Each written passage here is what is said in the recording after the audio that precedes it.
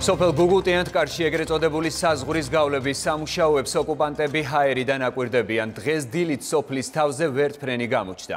პარალელურად გუგუტიანთკარში გრძელდება რკინის ბოძების და ხელოვნური ბარიერების მონტაჟი.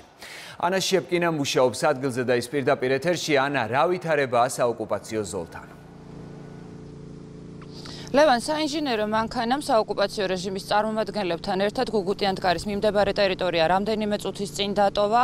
იმ ადგილას სადაც დილიდან მიმდინარეობდა ტერიტორიის აზომვა და მოსუფთავება რჩება მხოლოდ ორი სამხედრო მოსამსახურე. საკმაოდ აქტიურად მიმდინარეობდა დღის აი ამ რამდენიმე საათის განმავლობაში გამყოფი ხაზის მოწყობის სამუშაოები. დამატებით დამატებით კიდევ კიდევ 100 სიმეტრის სიგრძეზე არის დამონტაჟებული დამატებითი საყრდენი ბოძები მოსახლეობა ვარაუდებს ვარაუდობს რომ თუ მათ გააგრძელეს ესე აქტიურად მუშაობა შესაძლოა კიდევ რამდენიმე საკარმი დამონაკვეთი მოექცეს ოკუპირებულ ტერიტორიაზე. აი ამ პროცესის მიმდინარეობას და ვითარებას სოფელში საოკუპაციო რეჟიმის წარმომადგენლები აკვირდებოდნენ. ჰაერიდანაც მირვა ტიპის ვერტფრენმა გადაიფრინა ოკუპირებულ ტერიტორიაზე საოკუპაციო ზოლის გასწური ხრივ ისაფრინდა სავარაუდოდ ცხინვალიდან და გაფრინდა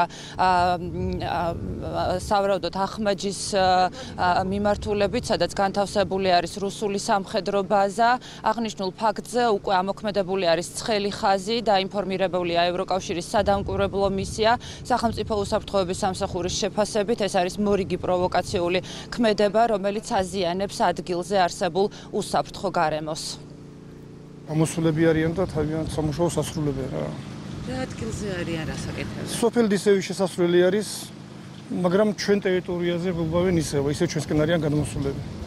გორის რაიონის ტერიტორიაზე არიან უშუალოდ აქ აქეთ ამუშაობენ. ალბათ 1 70 50 70 მეტრი იქნება. ეხლა აქ აიწიეს იქ წყლის საშუალთან დაკავშირებით, მაგრამ მე როგორც ამობენ, ისევ ქვეით ჩამოსვლას აპირებენ.